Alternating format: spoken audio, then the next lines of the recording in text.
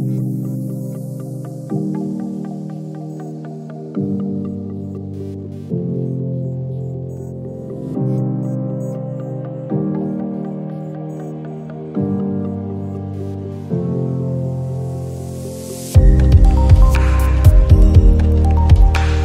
Welcome back to Hello Experts Explorers. Today we are diving into the heart of Mumbai's urban marvels with an exciting journey across the Mumbai Trans Harbour Link. Buckle up as we unravel the story behind this groundbreaking infrastructure project that is reshaping the city's skyline. Don't forget to hit that subscribe button and join us on this incredible adventure through Mumbai's modern marvels. The ongoing construction of Mumbai Trans Harbour Link, also recognized as the Sewri Nhava Sheva Trans Harbour Link and officially named the Shri Atal Bihari Vajpayee Trans Harbour Link, entails the development of a 21.8 kilometer, 6 lane elevated road bridge. This transformative infrastructure project aims to seamlessly connect Mumbai to its satellite city, Navi Mumbai. Upon completion, it is poised to claim the title of India's longest sea bridge and secure the 12th spot among the world's longest sea bridges. The journey of the bridge will commence in Sevri, South Mumbai, traversing Thane Creek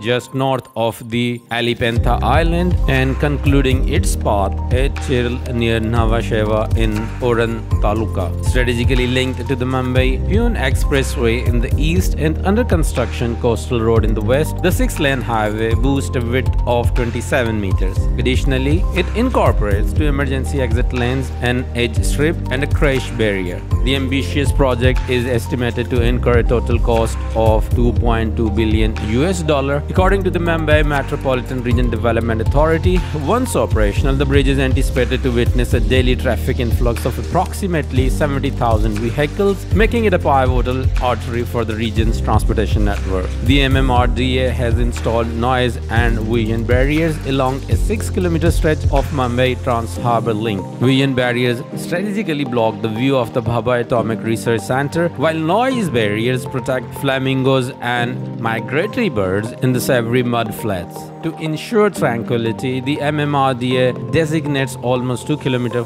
of the Sevri side of MTHL as a silent zone, extending similar measures to sensitive areas of the Navi Mumbai side. Construction equipment is fitted with silencers to reduce noise impact on migratory birds. The project employs reverse circulation drilling for quieter and faster construction in marine environments. The Mumbai Trans Harbour is a significant infrastructure project in India connecting Mumbai and Navi Mumbai. Here are some of the key facts about this project. The MTHL is India's longest sea bridge, spanning 16.5 kilometers over the Thane Creek and 5.5 kilometers on land, total 21.8 kilometers inland. The project is estimated to cost $2.2 billion. MMRD estimates that the 70,000 vehicles will use the bridge daily after its completion. The speed limit on the bridge will be 100 km per hour. The toll for one-way trip on the MTHL will be 250 Indian rupees, scheduled to be inaugurated